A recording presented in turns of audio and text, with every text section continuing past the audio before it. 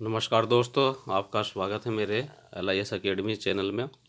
दोस्तों, आपकी भारी डिमांड थी कि सर यूनिट वाइज कराइए इसको सोल्यूशन और कुछ लोगों की डिमांड है कि थोड़ा डिस्क्रिप्शन दे करके समझाया जाए डिस्क्रिप्टिव फॉर्म में समझाया जाए।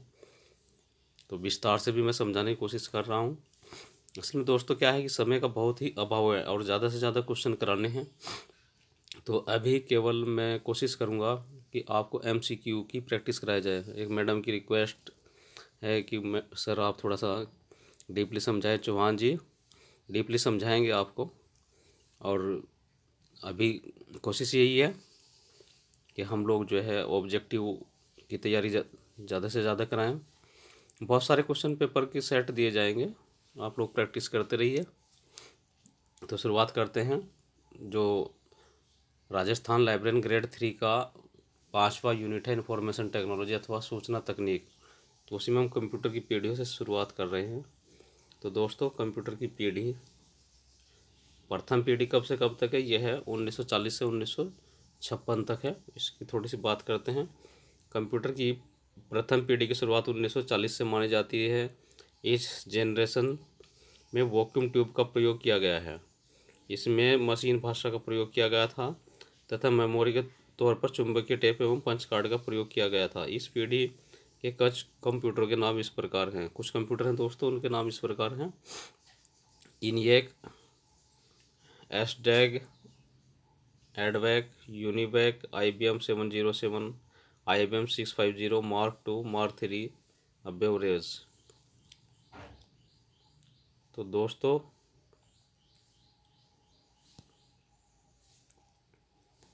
ठीक है, आप लोग जो है इसको करते रहिए।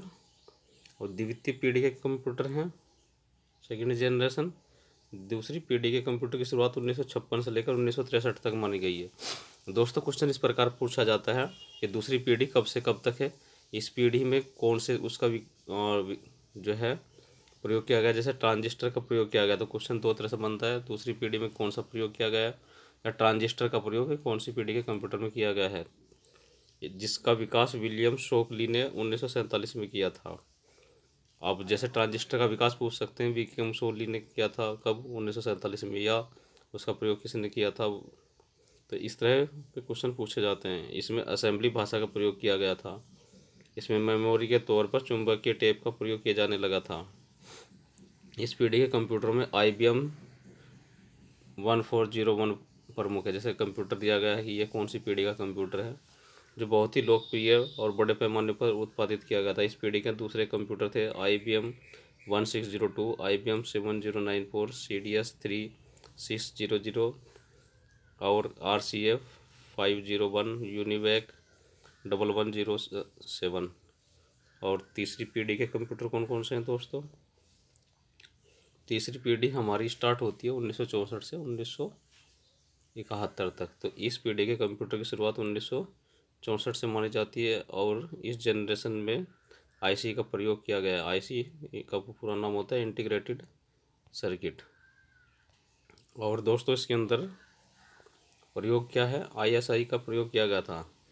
एसएसआई का पूरा नाम क्या है? स्मॉल स्केल इंटीग्रेशन है। इसमें हाई लेवल लैंग्वेज का प्रोग्राम का प्रयोग किया गया था तथा इसमें मेमोरी के तौर पर चुंबकीय डिस्क का प्रयोग किया जाने लगा है। इस पीढ़ी के कंप्यूटरों की मदद से मल्टी प्रोग्रामिंग एवं मल्टी प्रोसेसिंग संभव हो गया। इस पीढ़ी के कंप्यूटरों में I B M three six zero I B M seven three seven zero series I C L one nine double zero एवं Burroughs five seven double zero six seven double zero seven seven double zero तथा C D C three thousand six hundred series तथा UNIVAC nine thousand श्रृंखला, यानी series और Honeywell six thousand तथा two hundred P D P eleven oblique four five है। चौथी पीढ़ी के कंप्यूटर के बारे में बात करते हैं। तो चौथी पीढ़ी कब से कब तक है हमारी चौथी पीढ़ी कहलाती है? उन्नीस सौ इकहत्तर से लेकर के उन्नीस सौ नवासी nineteen seventy one to nineteen eighty nine.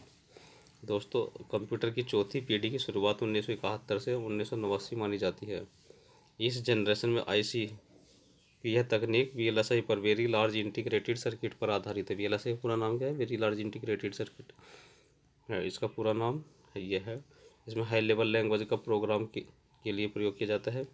इसमें केवल सिलिकॉन चिप पर कंप्यूटर के सभी परिपथ को लगाया जाता है, जिसमें माइक्रो प्रोसेसर कहा जाता है।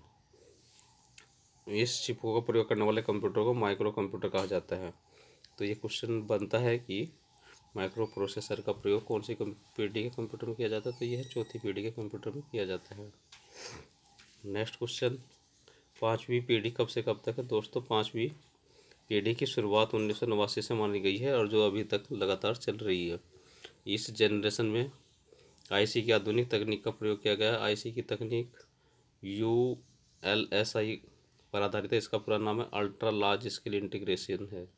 इसमें हाई लेवल भाषा का प्रयोग किया जाता है, जो अधिक सरल है। इस भाषा में G I graphic user interface का भी प्रयोग किया जाता है।